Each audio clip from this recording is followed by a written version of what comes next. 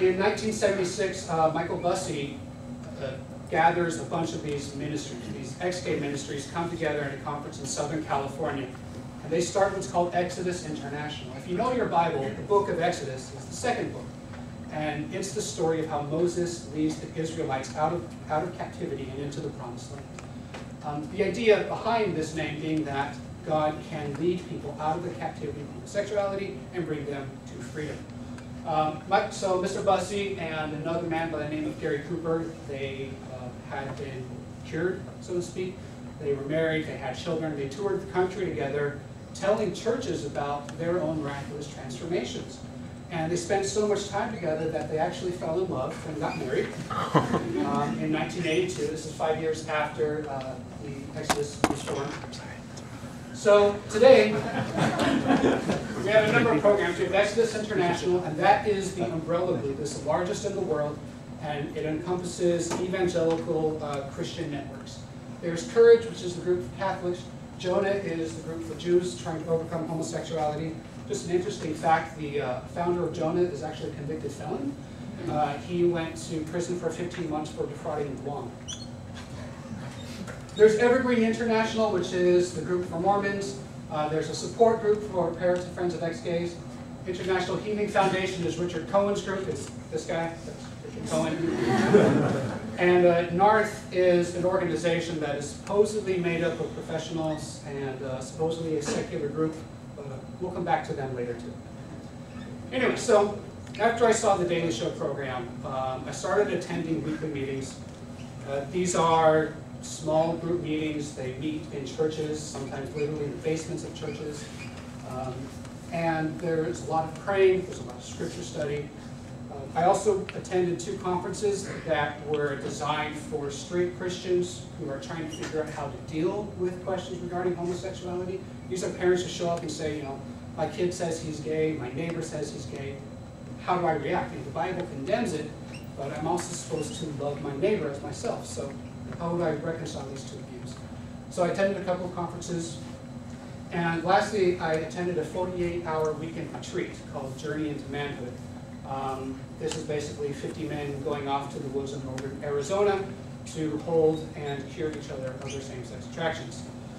Um, I will need six male volunteers um, in a few minutes. Anyway.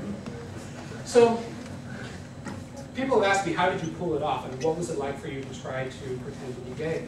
And one of the things that it's important to know is that these are all religious programs. So you have to know your Bible. You have to act like a Christian.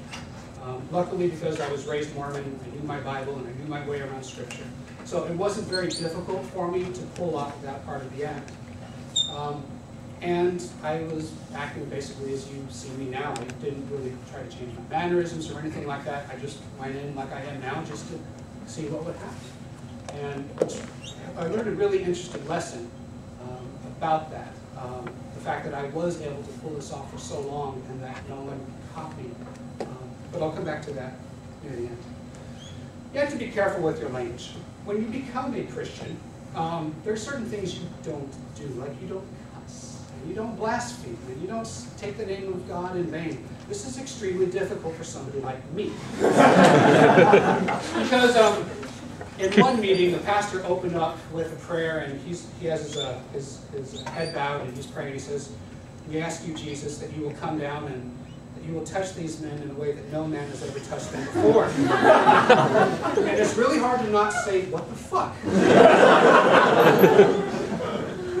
Um, in order to blend in, I had to wear nice shoes. I don't know why this was, but uh, a lot of the men were always wearing really nice shoes, and I was always wearing ratty tennis shoes all my life, so I had to start wearing better footwear.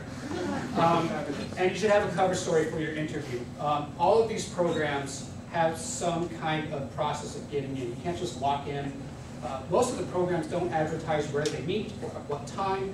Uh, you have to contact them and then they arrange an interview off-site. Uh, this is where they ask you questions about your life, about growing up, about your goals in the program. One of the reasons that they do this is so, well, apparently they've had problems with men trolling these groups of. Um, but it's also to kind of help you um, have a better expectation of what will happen as you go through these programs.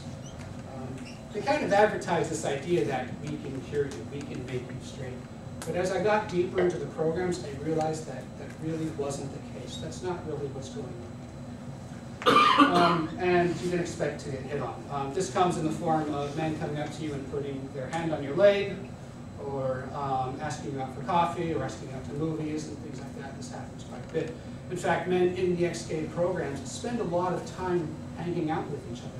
A lot of times it's because they just don't have anyone else to be around. Um, they've lived closeted lives. They haven't told their pastors. They haven't told their spouses. They haven't told their friends. They haven't told, they haven't told their parents. These are men and women who live very lonely lives. And it may be difficult, especially for the straight people in the audience here, to really understand what's, what that is like, to have to hide your orientation. That is something I don't understand. That is something I will never be able to identify. Um, but it is a tragic thing to think that you just can't be yourself, that you cannot be affectionate with the people that you're attracted to because of your fears. So these programs don't subscribe to the idea that uh, there is a biological or a genetic uh, factor that causes homosexuality or same-sex attraction. There are two reasons for this. Number one is God doesn't make people gay. And two, um, a big part of the narrative of ex-gay programs is that somebody converts you or someone brings you to homosexuality. And as we'll see later, that has a very strong political message where these groups are saying that homosexuals are in your schools and they're trying to convert your kids.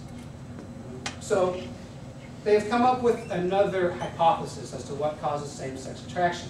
And uh, probably the easiest way to show it is with this uh, children's book called uh, Alfie's House. Uh, this is the story of a young man named Alfie who lives a horrible life at home. His parents are always yelling at each other. His dad is distant and always working. Uh, mom is overbearing. She is a little too affectionate with Alfie. She uh, shares a little too much information. She's overstepping her bounds as a mom. Um, so poor Alfie, he's, he's by himself. He doesn't have a good male role model to help him identify with his own masculinity. But uh, he does find someone who is understanding, and that's Uncle Pete. And uh, Uncle Pete will come over to the house and he'll spend the night and he'll sleep in Alfie's bed. And he'll show Alfie how to touch him in, in his special this idea that someone abused you, that there's some kind of sexual abuse is rampant within the ex-gay programs. In fact, there are cases of uh, counselors trying to recover lost or hidden memories and trying to help you resurface that old abuse that you've completely forgot. Um, in fact, there's a whole list of things that can, uh, can uh, turn you gay. This is from gaystraight.org. Um, with some interesting ones, um, your overattachment to your opposite sex parents, there's the neglect or abuse. There's your artistic nature on number two. um, some other possible reasons uh, might be number five, name calling or put downs. Number six, you could be uh, skinnier, larger, shorter, or taller than other people. That's what can do it for you. Lack of hand-eye coordination. um, still not done, all the different things. Uh, sexual abuse, you can be the teacher's pet if you're non-athletic. Uh, the internet, media, the educational system, all those public schools and their pro-gay agenda. They'll get you. Uh, my personal favorite is under number 10, religion. the idea is, is that uh, according to these groups, same-sex attraction isn't really the issue. The issue is deeper emotional wounds that need to be addressed. And the way it's like, like uh, uh, Joe Dallas here describes it, it's like a warning light on your dashboard in that there are other things that need to be addressed. And if you address these emotional wounds, if you address these needs, then your same-sex attractions will disappear.